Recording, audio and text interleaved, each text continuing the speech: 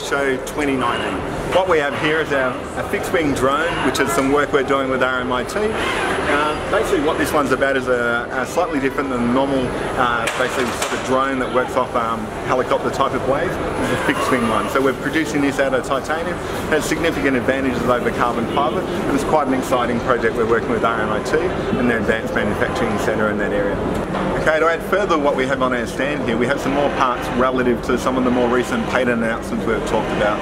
Uh, so we recently acquired the rights to exclusively use further patents from the CSIRO, and that's relative to continuous pipe and also mandrel where it can produce valves, flanges and other areas. So I'll touch on this very briefly and quickly. Uh, we have here a lot of titanium tube. Now there's a huge market for titanium tube.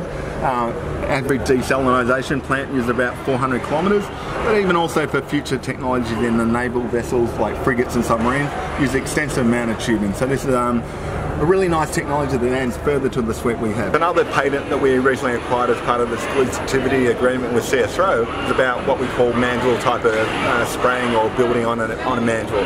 As you can see here we have a range of different parts on the first one we have a titanium with a tungsten carbide that's used in oil industry. A significant improvement for oil industry as far as abrasive resistance for so corrosion and erosion resistance. Uh, further here we have some large stainless steel parts. It's another titanium and also a flywheel as well. Some of the advantages of these new technologies is it actually brings parts to market a lot quicker.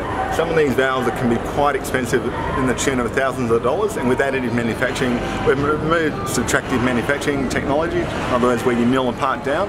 Now we can actually make parts exactly off the machine. In a lot of cases we can just do basically straight polishing out the part finish. Those that are familiar with the TAUV project we've been working on, the soldier system, we're now working through what we call phase two of that project where we're doing further validation of parts and moving beyond proof of concept into proper production process and engineering solution. You can see a little bit further over, we had the small drone we released at Land Forces in 2018.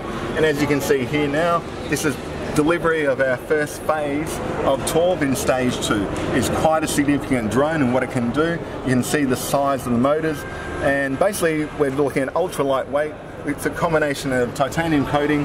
This has actually been finessed to the point now where the part you see, the main body, is actually sprayed and the finish off that is straight off the actual spray gun. Because this is actually really putting Australia on the map as far as relative to soldier system.